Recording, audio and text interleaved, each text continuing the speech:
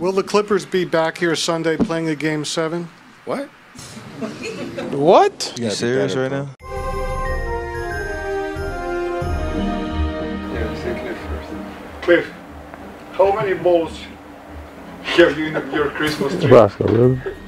Um, being that I don't have a Christmas tree yet, I would say none. Okay, thanks. You're welcome, Roscoe.